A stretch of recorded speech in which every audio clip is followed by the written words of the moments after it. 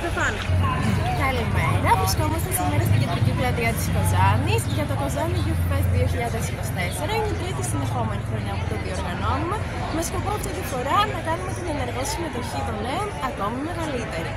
Εγώ είμαι η Ελένη Καραστέριου, είμαι υπεύθυνη της ομάδας των Activities, οπότε έχουμε κάνει ένα πλάνο προκειμένου οι δραστηριότητες να είναι αρκετά συμμετοχικές και ενδιαφέρουσες για όλο το κοινό. Έχουμε εθελοντές και από το εξωτερικό και από την Ελλάδα για να φέρουμε εις πέρας όλο αυτό το όραμα του φεστιβάλ.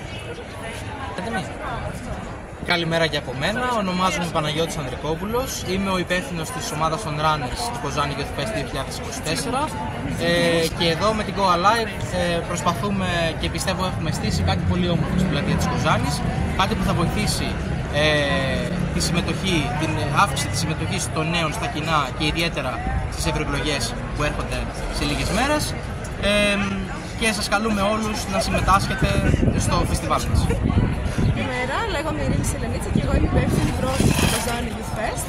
Ε, αυτό είναι το τρίτο Κοζάνη Youth Fest που γίνεται κατά σειρά και μέσα από αυτό οι εθελοντές μας μπορούν να αναπτύξουν διάφορες κοινωνικές αλλά και ψηφιακές δεξιότητες ε, πάνω σε διάφορα θέματα το φεστιβάλ λαμβάνει χώρα από την 5η μέχρι και το Σάββατο 23, 24 και 25 Μαΐου και είμαστε στην πλατεία από τις 10 το πρωί μέχρι τις 8 το βράδυ με ένα διάλειμμα 2 με 5 το μεσημέρι.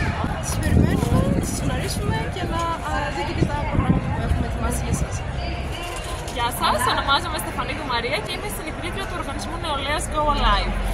Βρισκόμαστε σήμερα στην κεντρική πλατεία της Κοζάνης μαζί με 20 εθελοντές από 15 διαφορετικές ευρωπαϊκές χώρες, 20 εθελοντές από την πόλη της ε, Κοζάνης, αλλά και 10 εθελοντές που αποτελούν την συντονιστική ομάδα του οργανισμού για το φεστιβάλ Κοζάνη Youth Fest 2024. Θα ήθελα να ευχαριστήσω πάρα πολύ το Δήμο Κοζάνης που μας έχει παραχωρήσει τους χώρους στην πλατεία σήμερα αλλά και την Παρασκευή το απόγευμα 5 με 7.30 την ε, αίθουσα του Δημοτικού Συμβουλίου Κοβεντάριο όπου θα γίνει η συνεδρίαση, η πρώτη συνεδρίαση του Περιφερειακού Συμβουλίου Νέων η Ευρώπη ενεργοποιείται τοπικά.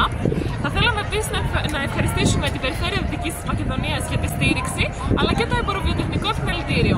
Να πούμε επίσης ότι το φεστιβάλ υλοποιείται υπό την αιγίδα του Ιδρύματος Νεολαίας και Διαβίου Μάθησης και χρηματοδοτείται η μετακίνηση των 20 εθελοντών από το εξωτερικό αλλά και η διαμονή τους και η διατροφή τους και γενικά όλη τους η παρουσία στην Κοζάνη για ένα μήνα από το Ευρωπαϊκό Σώμα Αλληλεγγύης.